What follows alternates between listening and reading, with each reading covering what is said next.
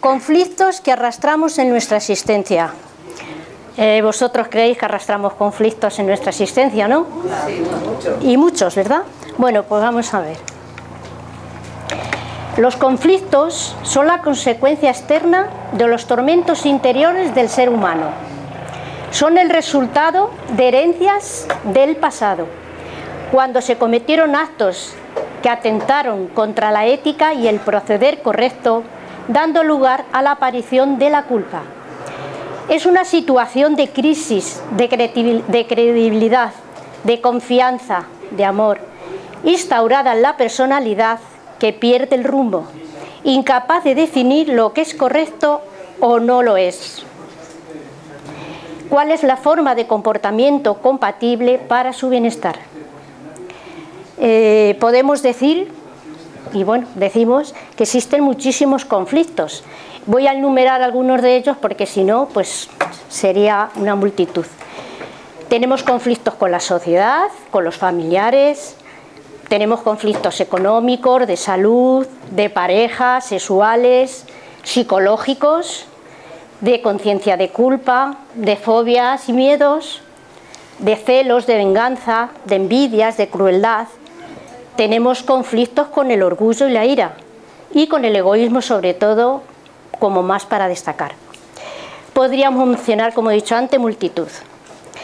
Nuestros conflictos morales y personales son la mayoría de nuestros trastornos mentales. Estos generan la, deshumanización de las defensas orgánicas, las cuales ceden a la invasión de microbios y virus que destruyen su inmunidad, instalándose insaciables devoradores para nuestro cuerpo físico.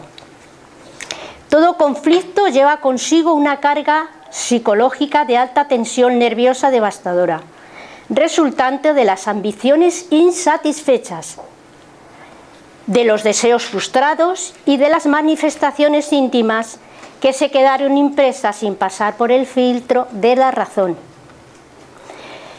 Le cabe al hombre en conflicto revertirse de coraje, resolviendo a través del trabajo, identificando las posibilidades de las que dispone.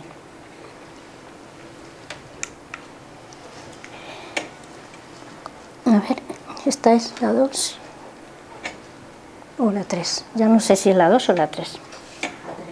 La 3, ¿no? Es bien sabido por todos que somos seres imperfectos e inacabados. Como espíritus fuimos creados simples e ignorantes, carentes de conocimiento y de habilidades, en la condición de principio inteligente. Este principio se ha ido desarrollando a lo largo de cientos de millones de años, durante los cuales atravesaron por diversas fases, como la cristalización, la sensibilidad vegetal, la percepción instintiva del animal, y hasta alcanzar la conciencia y la inteligencia humana. Un programa de conquista que fue iniciada en el periodo de la conciencia del sueño, física momentánea, a ver, del sueño, permaneciendo en estos momentos en una experiencia física momentánea hasta que avancemos hacia la conquista más grandiosa, teniendo que solventar tormentos, conflictos en el área del psiquismo o en el complejo espiritual de que está constituido como energía pensante que es.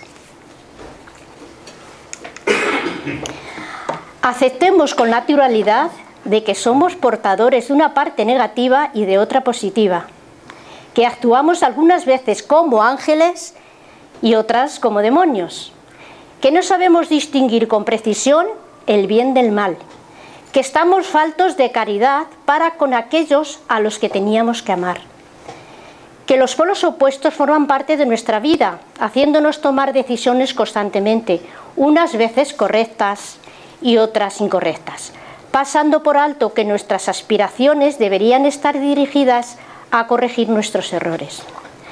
Todos debemos saber que tenemos un conflicto cuando la conciencia no irradia discernimiento.